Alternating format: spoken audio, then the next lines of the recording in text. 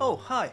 Uh, it's Kevin Closs here. You might remember me from such films as Ice Age Columbus and, oh, I don't know, Shania, A Life in Eight albums, many, many famous films.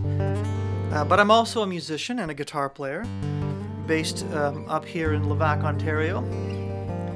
And um, a friend of mine sent me a message a few days ago asking me about one of my videos on, on the YouTube about what the tuning was. And every time I try to explain this tuning, I immediately get tongue tied trying to describe how it's done um, because it's it's a hybrid uh, guitar. I learned that term from my buddy Kenny.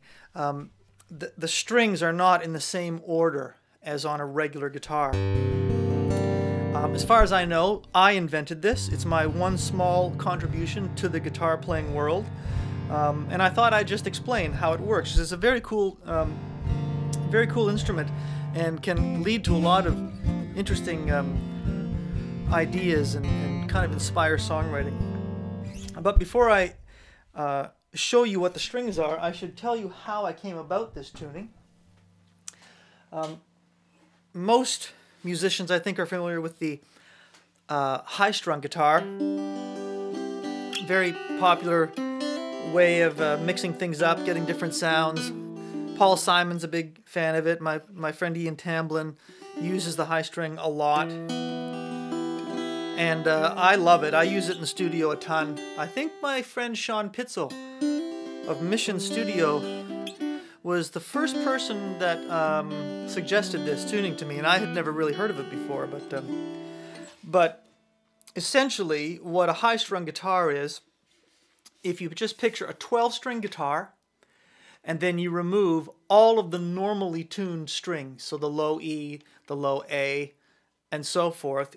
The strings that are left on the guitar are these ones, and they're they're basically an octave above each of the normally tuned strings, except for the B and the E, which are just doubled, so they're the same. And it's called Nashville tuning or, or high tuning. And it has this beautiful, chimey sound that is just quite addictive.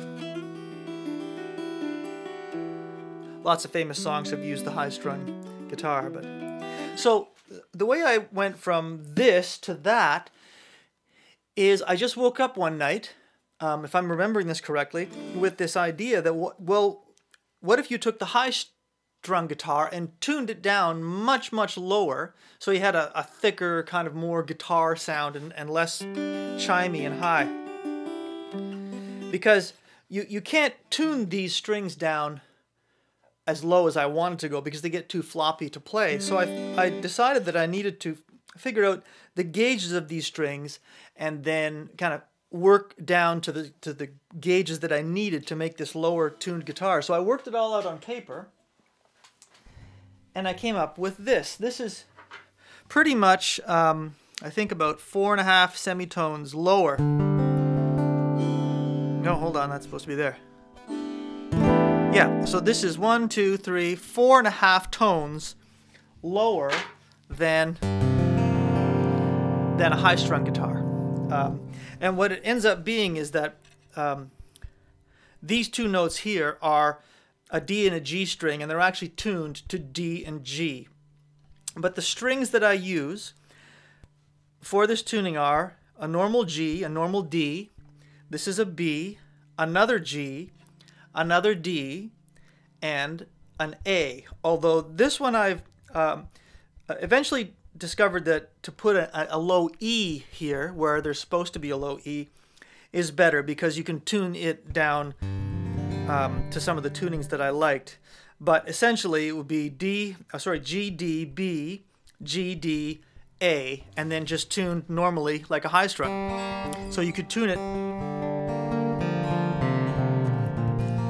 like a high-strung guitar and you can play normal chords and you get this beautiful thick beautifully mid-rangey sound it's just pretty amazing and of course I immediately started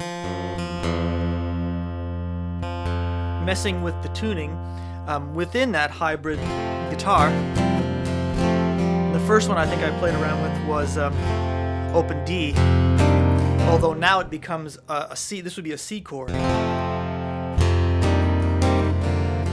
wrote a song called uh, 52 Times Around the Sun with this tuning.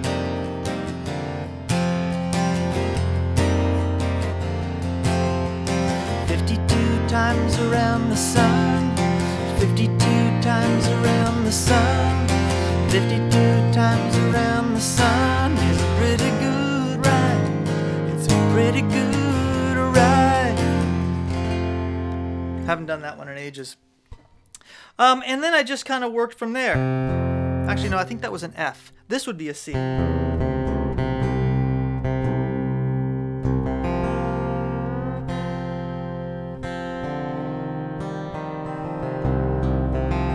can't tell you exactly what notes these are right now. I've never really figured it out, but um, just like a normal guitar, I started messing about with tunings. I came up with this uh, tuning, which I wrote uh, an instrumental piece called The Courtesy of Fred's Two Feet.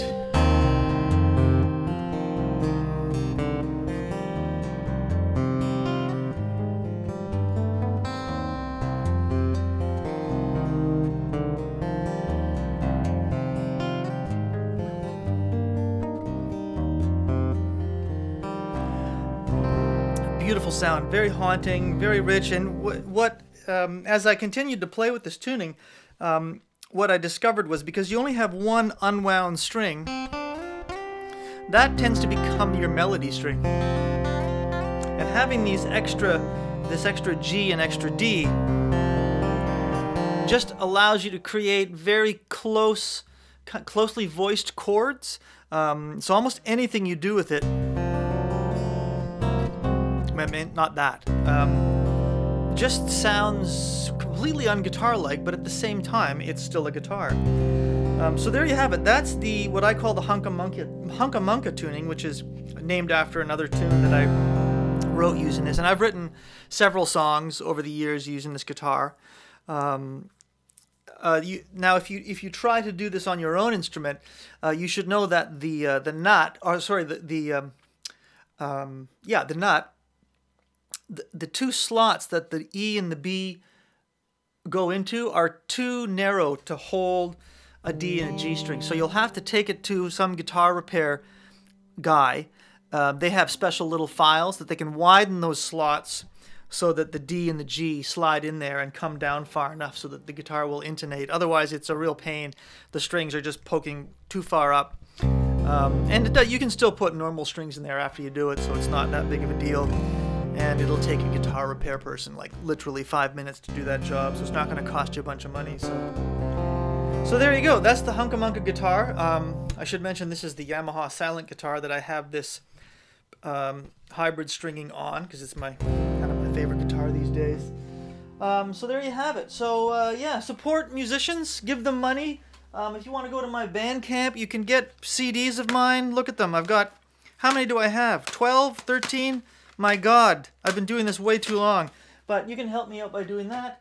Or you can message me about a guitar lesson if you want to learn more about how to use this tuning. I've got some tab that I could turn you on to. It's not terribly tricky if you're, um, you know, a reasonably a proficient guitar player. Um, anyway, have a good day. Hope that didn't uh, waste too much of your time or bore you to death.